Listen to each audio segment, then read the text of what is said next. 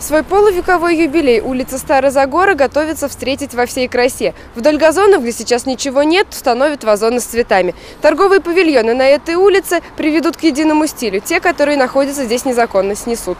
На Старозагоре все должно быть прекрасно. И рекламные конструкции, и фасады, и входы в торговые павильоны. Здесь приведут в порядок газоны, тротуары, спилят аварийные ветки с деревьев. Украшать улицу юбиляра городские власти призывают и предпринимателей. Бизнес-вумен Нина Светлова с удовольствием откликнулась. Говорит, если каждый приложит усилия, Старозагора расцветет. Обновляем каждый раз, мы, значит, красим фазоны. Вот они уже сейчас стоят, ну так, как говорится, дежурят.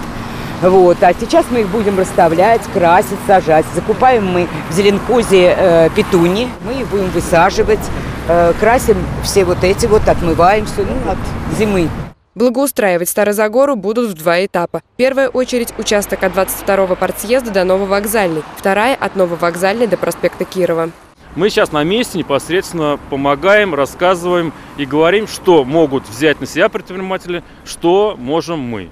Есть вопросы, которые нельзя одномоментно решить, есть вопросы, которые можно прям сразу, сразу на месте и решить. И к 1 мая ну, подавляющее большинство вопросов должно быть или закрыто, или идти к финишу. Мы сейчас обошли э, несколько домов, э, выявили объекты, которые не соответствуют эстетическому облику. Э, мы с ними ведем работу, разъясняем о том, что необходимо содержать фасады надлежащим образом, в соответствии с рекомендациями управления главного архитектора города. С преображением Старозагоры тянуть не будут. Благоустройство стартует уже в апреле, одновременно с генеральной уборкой города. Алина Чемерис, Артем Сулайманов. События.